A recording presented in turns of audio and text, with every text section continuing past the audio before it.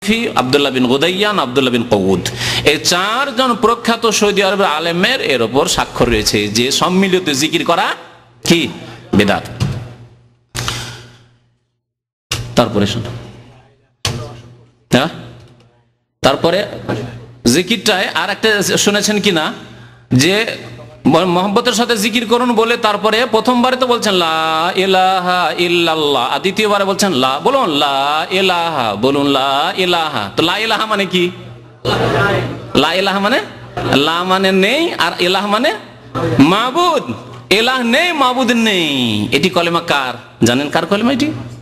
কালমার্সের কলেমা, লেনিনের কলেমা, স্টালিনের কলেমা এটি। কালমার্স বলেছিল যে, লা ইলাহা, নো গড। আর লাইফ হচ্ছে কিসের নাম? বস্তুবাদের নাম। মাদ্দার না বস্তুবাদের নাম।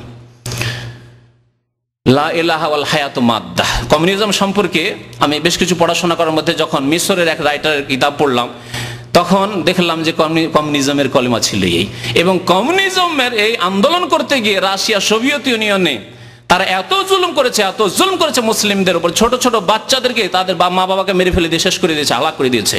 তাদের ইসলামের কারণে, দিনের কারণে। ছোট ছোট বাচ্চাকে নিয়ে গেছে, তারপরে খিদাই রেখেছে খিদাই চিৎকার করছে বাচ্চারা।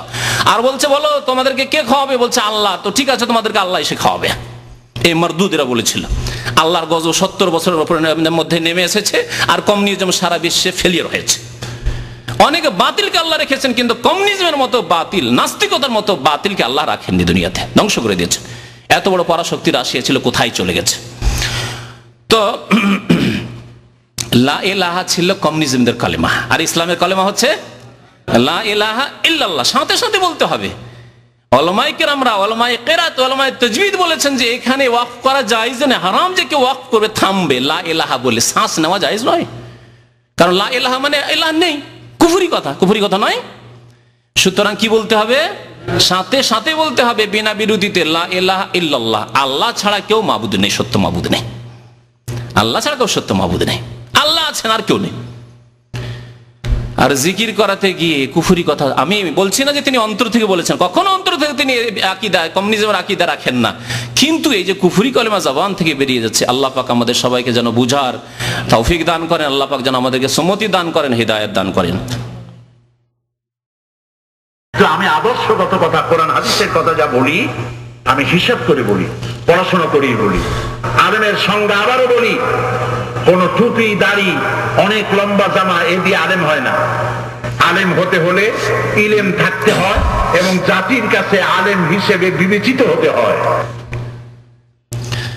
তিনি প্রথম বললেন যে আমি যা বলি, পড়াশোনা করে বলি। শুনলেন না? তার পড়াশোনার অবস্থা বুঝতে পারছেন আর জাল হাদিসগুলো আসবে, তার আরও ভাবে ভালোভাবে বুঝতে পারবেন যে কতটুকু পড়াশোনা করেন।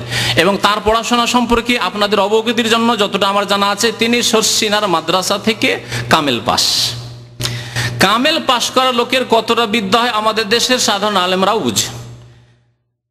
আলিয়া মাদ্রাসাতে যে কোনো কিতাব পড়া হয়, পরীক্ষা পাশ করার জন্য, আলেম ফাজেল দাখিল এসব পাশ করার জন্য, কামেল, এসব পাশ করার জন্য হাদিসের কিতাব পড়া হলো দশ বিশটা, চল্লিশটা, পঞ্চাশটা পাতা পড়া হয়। এই করে এটা কেউ অস্বীকার করতে পারবে না।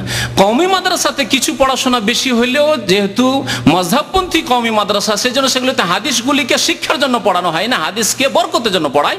আর শিক্ষার জন্য ফেকা পড়ায়, মানুষের কথা পড়ায়। যার ফলে তারাও এক অন্ধকারের মধ্যে থেকে যায়। রসুল্লাহ সহি সহি হাদিস আমল করার মতো ইমান তৈরি হয় না, আমল তৈরি হয় না। এই হচ্ছে কমি মাদ্রাসার অবস্থা আর এই হচ্ছে আলিয়া মাদ্রাসার অবস্থা। তো তার পড়াশোনার যোগ্যতা এতটুকু। কামেল পাশ মানুষ অনেকে এখানে আছে যারা সাধারণ কাজ করছে। বাক শক্তি তার কাছে নেই সেই জন্য বক্তা হইতে পারেননি। আর সাইদি সাহেবের কাছে বাক শক্তি মাস আল্লাহ তাবারাক, আল্লাহর দান সেই জন্য এক বড় বক্তা হয়ে গেছেন। আর এলমের দৌড় দেখতেই পাচ্ছেন এবং আরও দেখতে পাবেন।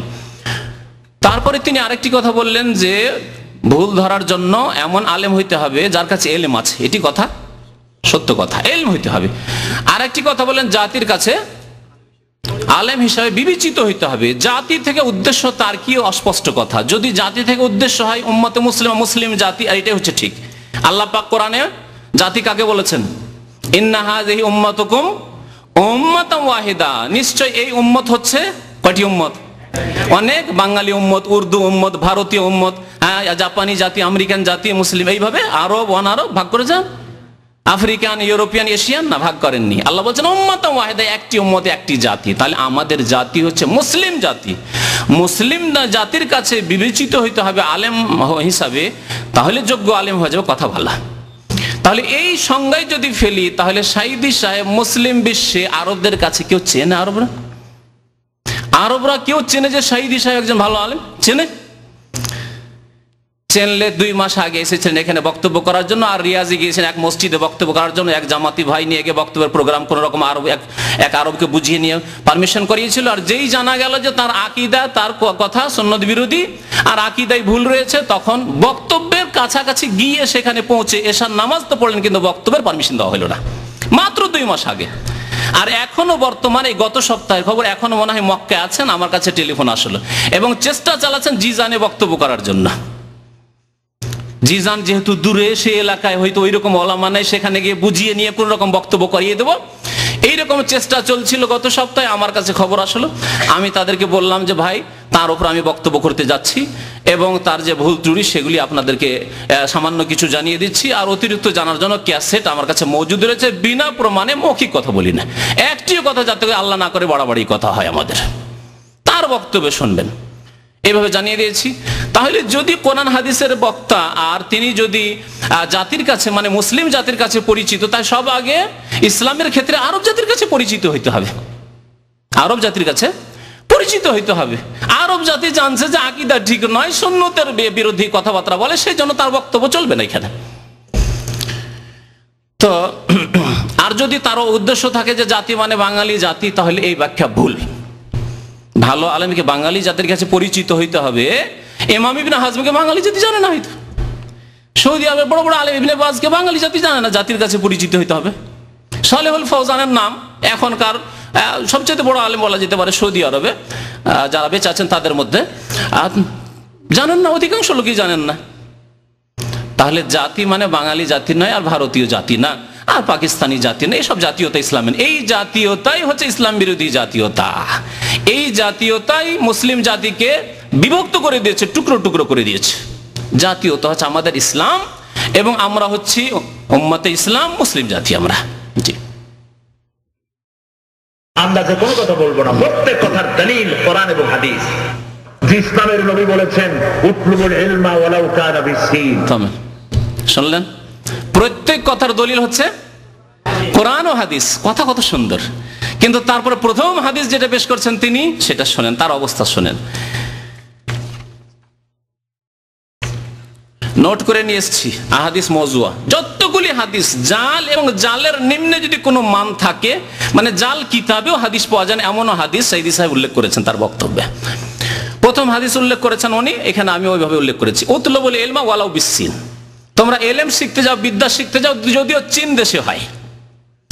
হাদিস সম্পর্কে শুনে কালাল আলবানি ফিসিলাতিল হাদিস দাইফা আল মৌদুয়া আল্লামা আলবানী রহমতুল্লাহ আলাই বর্তমান যুগের বিংশ শতাব্দীর মহাদ্দেশ, তিনি বলছেন সিলসিলা, সহিহা আর সিলসিলা দাইফা মজুয়া। মজু এবং কি বললে জয়ীফ হাদিসের যে সিরিজ তার আছে, সেটা বেশ কয়েক খণ্ড আছে প্রায় দশ বারো খণ্ডে আছে।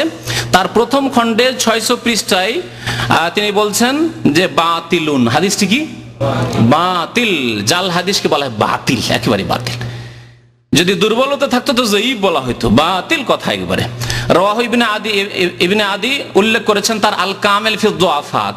একটি কিতাব রয়েছে। সেই কিতাবটি জাল হাদিসেরই সমষ্টির সতর্ক করার জন্য শুধু জাল এবং হাদিসগুলি তিনি সংকলন করেছেন। তার দ্বিতীয় খণ্ড দুইশো সাত পৃষ্ঠায়। তারপরে বলছেন যে, কেন জাল হাদিস, বাতিল হাদিস কেন? শোনেন। বলছে যে এই হাদিস বর্ণনা হয়েছে একমাত্র আবু আতেকার সূত্রে। আবু আতেকা নামক এক ব্যক্তির সূত্রে। ওয়াহুয়া তার অবস্থা শুনেন, এখন তার গিবত শুনেন শরীয়ত সম্মত গিবত। ওয়াহুয়া মাতরুকুল হাদিস, হাদিসের বিষয়ে সে পরিত্যক্ত। তার কথা নেওয়াই হয়নি, মহাদিসের কেউ নেয়নি, পরিত্যক্ত। তারপরে বলছেন আফাতুল হাদিস আবু আতেকা হাজা। এই হাদিসের বিপদ হচ্ছে, সর্বনাশ হচ্ছে। মানে জাল হাদিসের কারণ, মূল কারণ হচ্ছে আবু আতেকা এই। ওহুয়া মুত্তাফাকুন আলা তাজিফি এর ব্যাপারে সমস্ত অলমাই কেরামের সর্বসম্মতিক্রমে সেই ব্যক্তি একবারে জয়ীফ এবং গ্রহণযোগ্য নয়। বল জাফাহুজ্জিদ্দান আল ওকাইলি। এমাম ওকাইলি তাকে অত্যন্ত দুর্বল বলেছেন। শুধু দুর্বল নয়। কি বলেছেন? অত্যন্ত দুর্বল। যার ইমানেও দুর্বলতা থাকে আখলাকেও দুর্বলতা থাকে দিনে